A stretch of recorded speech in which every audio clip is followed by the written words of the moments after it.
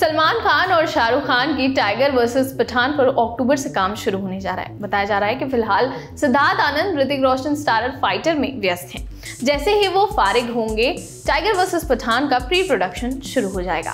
Film की shooting तय समय से जल्दी शुरू करने की तैयारी चल रही है। फ़िल्म के पहले शेड्यूल में सलमान और शाहरुख के सीन्स शूट किए जाएँगे। मिड डे की रिपोर्ट में बताया गया कि आदित्य चोपड़ा अक्टूबर से टाइगर वर्सेस पठान का प्री प्रोडक्शन वर्क शुरू करने जा रहे हैं। ऋतिक और दीपिका पादुकोण के साथ एक गाना शूट होना है। इसे इंटरनेशनल लोकेशंस पर फिल्माया जाएगा। इसके अलावा कुछ एक ज़रूरी वीएफएक्स शॉट्स लिए जाने बाकी हैं। उसके बाद फ़िल्म की शूटिंग कंप्लीट हो जाएगी। आदित्य चोपड़ा चाहते हैं कि सिद्धार्थ फाइटर से निपटते ही टाइगर वर्सेस पठान पर काम शुरू करें। इसलिए एक टेक्निकल टीम तैयार की जा रही है, जो सिद्धार्थ के साथ मिलकर अक्टूबर से टाइगर वर्सेस पठान का प्री प्रोडक्शन शुरू करेगी। पहले चर्चा थी कि टाइगर वर्सेस पठान की शूटिंग अगले साल मार्च या एंड या अप्रैल से शुरू हो सकती है। मगर अब बताया जा रहा है कि फ़िल्म की शूटिंग जनवरी, फरवरी 2024 तक चालू कर दी जाएगी।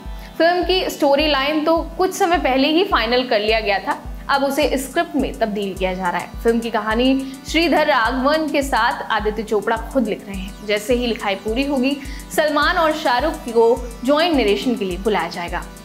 मेकर्स चाहते हैं कि टाइगर वर्सेस पठान के पहले शेड्यूल में सलमान और शाहरुख के कॉम्बिनेशन सीन को शूट किया जाए। उसके बाद दोनों लोग अपनी अपनी सहूलियत के हिसाब से अपने सोलो सीन शूट कर लेंगे। अगर सब कुछ प्लान के मुताबिक चला तो फरवरी से लेकर मई तक इन सीन्स को शूट किया जाएगा।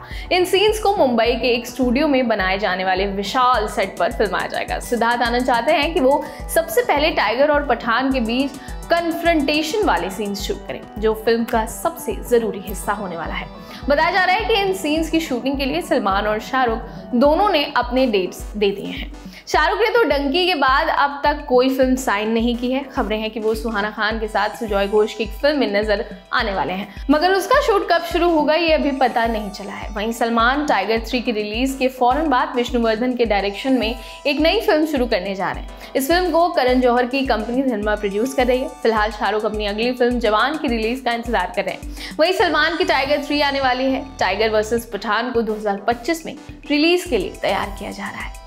आपके लिए सारी जानकारी जुटाई थी हमारे साथी श्वेतांक ने। मैं हूँ मेघना। देखते रहिए ललन टॉप सिनेमा। शुक्रिया। शुरू हो गया है YouTube पर ललन टॉप का नया मेंबरशिप प्रोग्राम एल प्रीमियम क्या होगा इसमें? एल प्रीमियम मेंबर्स किसी भी प्लेटफॉर्म से तीन दिन पहले देख सकते हैं guest in the news room और किताब वाला जैसे कई शोज़ ललन टॉप के हम सब एंकर्स हर हफ़्ते आपसे करेंगे लाइव चैट देंगे आपके सवालों के जवाब। ललन टॉप के न्यूज़ रूम में क्या होता है? अर्ली एक्सेस ब्लॉग में दिखेगी न्यूज़ रूम की रोचक जानकारी और उठापटक।